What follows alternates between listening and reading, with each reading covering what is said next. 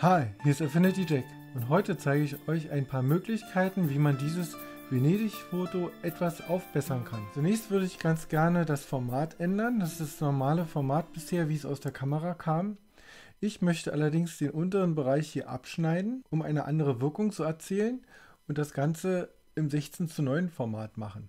Dazu gehe ich auf das Zuschneidewerkzeug und kann hier selbst definiertes Verhältnis 16 zu 9 wählen. Dann kriege ich diesen Rahmen, den ich mir so schieben kann, wie ich zuschneiden möchte. Allerdings würde ich damit diese Gondel abschneiden, die ich eigentlich genau im Bild haben möchte. Also muss ich mir diese Gondel zuvor erstmal retten. Und da zeige ich euch, wie man das macht.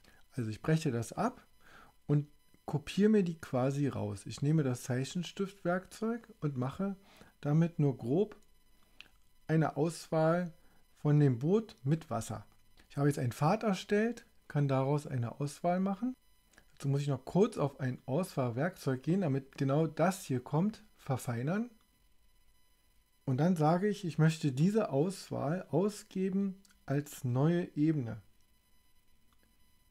Jetzt habe ich das herauskopiert, kann den Hintergrund wieder aktivieren, nehme das Bewegen-Werkzeug und ziehe jetzt das Boot erstmal ein Stück beiseite und deaktiviere es.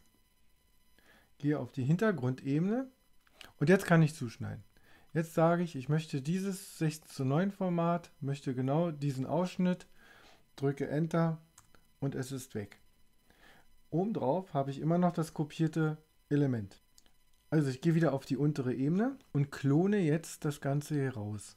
Dazu nehme ich das Restaurationswerkzeug Wähle eine Pinselgröße mit weicher Kante und Affinity Photo ist in der Lage, das selbstständig herauszuklonen. Bei der Gelegenheit klone ich auch das hier noch raus. Und dieses Boot möchte ich auch nicht im Bild haben. Jetzt gehe ich auf die zuvor kopierte Gondel, aktiviere diese Ebene, gehe auf das Bewegen-Werkzeug und ziehe sie mir erstmal dorthin, wo ich sie hinhaben möchte. Also in etwa hier möchte ich sie hinhaben. Jetzt passen die Übergänge nicht. Ist jetzt recht hart hier, geht schon relativ, aber die kann ich jetzt sauber übergehen lassen, indem ich sie markiere. Ich gehe also auf Ebene, aktiviere die Ebene, nehme einen Pinsel mit der Farbe Schwarz, stelle mir den schön groß und weich ein und fahre jetzt hier über die Kanten, sodass die Übergänge so wären, dass es praktisch eins mit dem Wasser der Umgebung wird. Jetzt kann ich mit den ersten Farbanpassungen beginnen und zwar finde ich, ist das Foto insgesamt etwas enttäuschend. Die Farben sind blass und grau. Also fange ich mal an und gucke mir mal, die erste Idee ist eine Tonwertkorrektur an. Ich gehe mal davon aus, dass die Werte nicht ganz stimmen. Und so ist es auch. Man sieht, dass in dem vorderen Bereich und auch im hinteren Bereich etliches fehlt. Und das kann ich hier heranziehen und sehe sofort den Effekt. Ich kann auch die Alt-Taste gedrückt halten und so lange ziehen, bis die ersten Bereiche ausbrennen und dann aufhören. Das gleiche mache ich mit diesen Tönen und habe damit schon mal eine Verbesserung erzielt. Nun habe ich mir überlegt, das Wasser etwas blauer zu machen, als es hier ist. Und das Ganze mache ich mit einer Sättigungsebene HSL, Hue Saturation Luminance, lege die oben drauf und gehe mit der Pipette auf einen Bereich ins Wasser, nehme einen Farbpunkt auf und Affinity sucht sich jetzt selbst diesen Farbbereich raus. Also im Prinzip diese blau-grau-Töne. Und da kann ich jetzt die Farbtöne verschieben, bis ich der Meinung bin, dass ich ein Blau habe, was mir gefällt. Dieser Ton gefällt mir, da gebe ich noch ein bisschen Sättigung drauf, nicht zu viel. So reicht mir schon. Jetzt habe ich aber das Problem, dass ich alles blauer gemacht habe. Also der Himmel kann ja bei der Gelegenheit auch ruhig ein bisschen blau werden, aber nicht die Häuser. Also werde ich jetzt alles herausmaskieren, was nicht blau sein soll. Nehme also wieder einen Pinsel, Farbe schwarz und gehe einfach über diese Bereiche rüber, die nicht blau werden sollen. Und habe jetzt auch schon mal einen leichten Verbesserungseffekt. Eine weitere Idee von mir, da kann man jetzt geteilter Meinung sein, weil man ja das Bild verfälscht. Hier ist ja eine Kuppel mit einem Blechdach. Das Dach ist grau. Ich finde, um ein bisschen Farbe reinzubekommen, kann man das Dach auch mit einer leichten grünen Patina versehen, so als wenn es ein Kupferdach wäre. Also nur mal als Vorschlag, das mache ich dann nämlich genauso über Hue Saturation Luminance. Ich nehme wieder die Pipette, nehme hier den Farbton auf.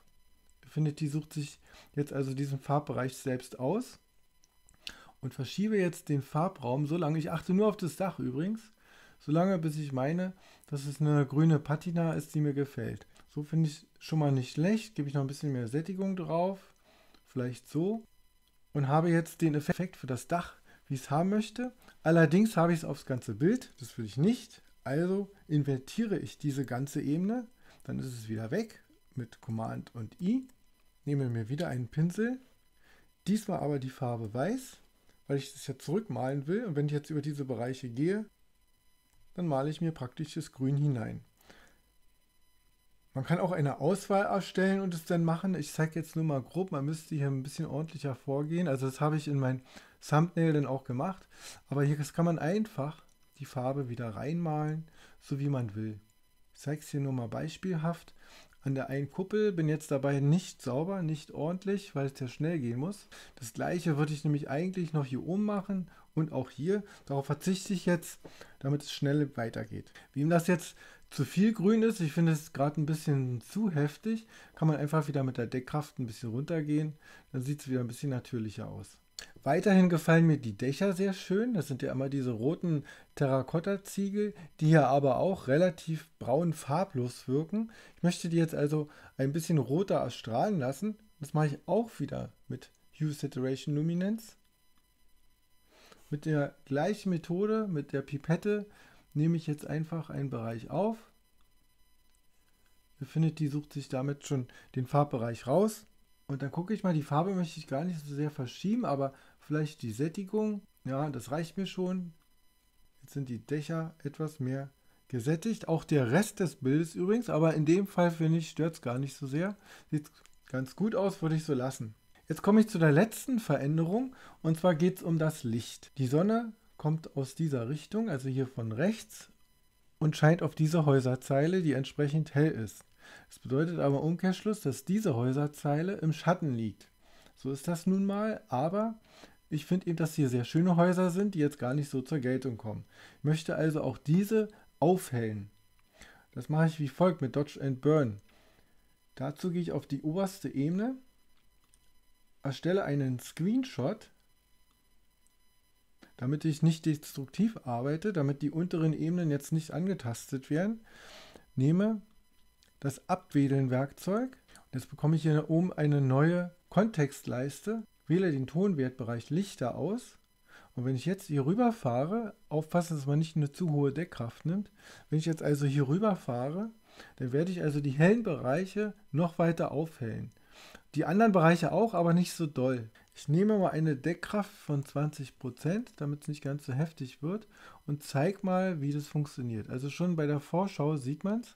Ich gebe jetzt immer so kleine Klicks drauf und man sieht sofort, wie sich das Ganze verändert. Man muss also aufpassen, dass man es nicht übertreibt. Also das, jetzt ist es im Prinzip schon leicht übertrieben, aber man sieht sofort eine Veränderung. Man hält praktisch diesen ganzen Schattenbereich auf. Ich spule das Ganze mal vor und zeige dann ein kurzes Zwischenergebnis, wie es dann aussehen könnte. Ich zeige dann nochmal kurz, wie sehr das Bild eigentlich jetzt verändert wurde. Wobei hier jetzt schon der Zuschnitt drin ist und die Gondel raus. Erstmal die Gondel wieder rein. Tonwertkorrektur. Farben vom Wasser und vom Himmel verändert. Die Kuppel verändert die Dächer verändert und etwas aufgehellt. Und ich habe das ja hier nur schnell im Tutorial gemacht. Und hier zeige ich nochmal das Foto, wie es dann am Ende aussehen könnte, wenn man sich ein bisschen mehr Mühe gibt. Ich hoffe, ich konnte euch ein bisschen inspirieren und ein paar Möglichkeiten zeigen, wie ihr vermeintlich etwas farblose und fade Bilder doch noch retten könnt. Ciao, euer Affinity Jack.